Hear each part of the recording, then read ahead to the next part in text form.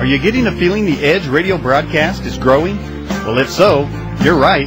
The Edge program has been hitting the bullseye of what people are interested in. Do you feel like I do? We're now broadcasting 24 hours a day, 7 days a week from the new EBN, the Edge Broadcasting Network. We've added a web store. We're making a difference in the search for truth, and we're sharing our success with you. Do you feel like I do? From around the world, people are listening. They're sending in their stories and comments. They're making guest suggestions. They're telling their friends about the show. Do you feel like I do?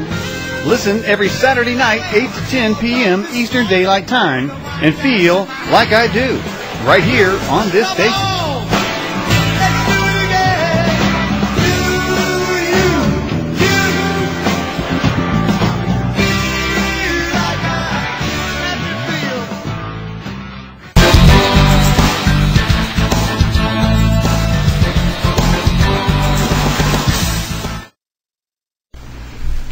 All right, we're back on Spiritually Speaking. I'm your host, Larry Cat, and we have a guest with us today. His name is Paul Jamerson, and he's one of our correspondents from Australia. And we're going to have a general conversation today about a various number of things. We're going to talk about martial law. We're going to talk about uh, dreams and uh, whatever else we can dig up during this conversation.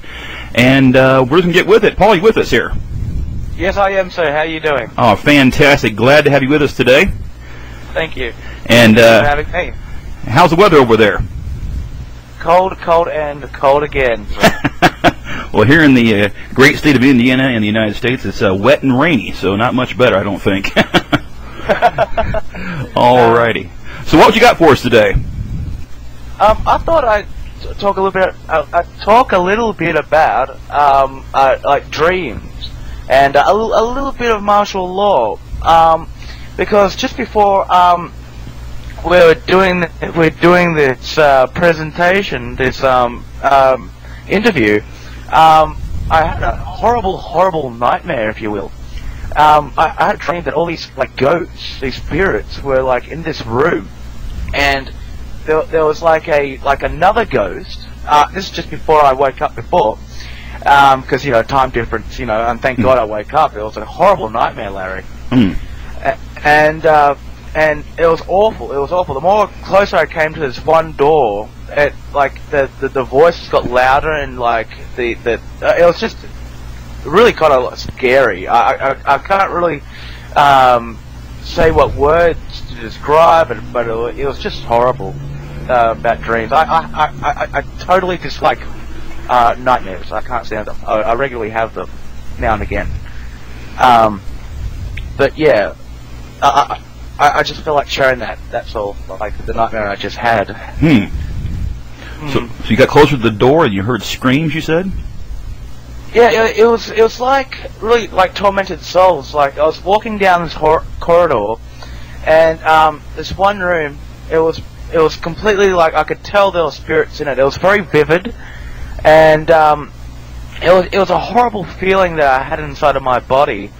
And um, the more closer I got to the actual door to see through, it had like a glass string thing into it. The more worse it got of the um, of of the energy in the room and um, and the more frightened I got, so the more further away I got from it, the more uh, less intense it got.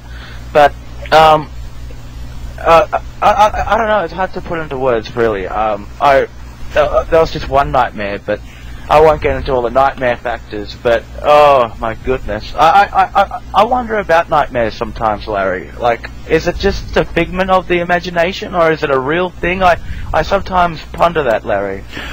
Well, I pondered that myself on, on many occasions. I've had dreams that, um, to be quite honest, have not come true uh, in some form or fashion. Maybe not exactly as I dreamed them, but close enough that made me remember that I had that dream before.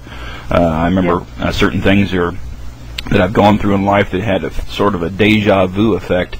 That I stopped and thought about it and remembered I had a dream about something very, very similar to this that uh, came to pass.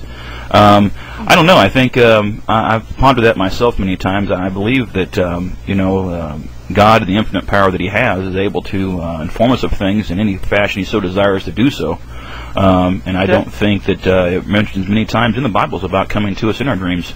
Um, so, um, so I, I, I think that sometimes uh, it may be um, our over imagination. Um, 'cause I've had some really funky, weird dreams that couldn't possibly Oh, have anything to do anything in life. But, but uh, on the other hand, but uh, uh, you know, clowns chase me down a down a down a hill throwing balloons at me. I don't think anything to do with real life. But uh, but uh, had a dream like that one time. I remember that one. I don't know why, but I do.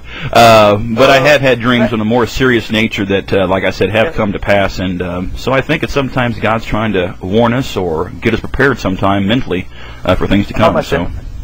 Most definitely. Oh, I can't stand clowns. I can't stand clowns myself. Oh man.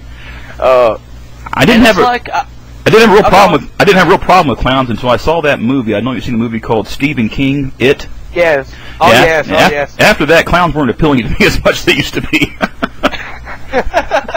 yeah, yeah, like that one scene of the little boy. You know, it's like I got plenty of balloons down here, all kinds of colours. You know, oh, it's just creepy, creepy, creepy. yeah, yeah, I'll pass. Oh, Yeah, most definitely, most definitely. Yeah, it's like um, and uh, I won't go on about um, nightmares for too long, but I, as a child, I used to have repeated dreams of these two face masks.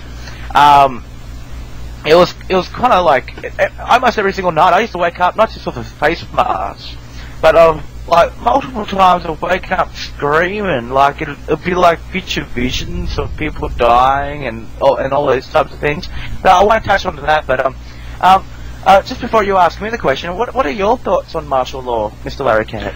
Well, I'll be honest with you. I've, I have a military background. Uh, I worked with the United Oh. States Air Force uh, for three years, um, uh, not in an active forest point of um, any operations outside the United States. I did mostly search and rescue with what they call the Civil Air Patrol. It's a branch of the United States Air Force, um, and um, martial law. It, it, it's a you know, definition of the system of rules that takes effect when the military takes control of a normal administrative administration of justice. Um, and martial law, I can't think it'd have to be a very extreme case that martial law would have to be imposed. Um, I do but, too. But uh, but on the other hand, I, I, I agree with some of our edge staff that we've had these conversations in our in our uh, weekly meetings and things that um, that the United especially I don't know how it is over in other countries because I'm be honest with you, I'm, I'm when it comes to certain research on the subject I get lazy. So but uh, but uh, I'll be frank with you. But uh, you know I obviously live in the United States. I can uh, things are more prevalent you know on the media and, and things across the um, our email and, and web and things of that nature. But I believe the United States is going to a point that they're trying to get the idea of martial law, uh, a night that something more of a, a relaxed thing and more of a thing that we can easily transition into. Uh, than recent military activities in the, in the Indianapolis area, in my hometown here, uh, they had uh, military maneuvering training exercises going all across uh, Indianapolis and in the state of Indiana. And I actually, be honest with you, there's a park not far from my house here and uh, it was called Edinburgh, um, uh, Indianapolis Edinburgh Park there, and we went over there one night and I saw, uh, and again, being from military background, I know when I can hear military military helicopters versus regular everyday choppers you hear in the air. And uh, obviously, I heard the, the difference in the pitch, and I knew something was going on. So we drove, and I followed the noise with my wife in the car, and um, they were actually landing AH-64 Apache attack helicopters in the Edinburgh City Park.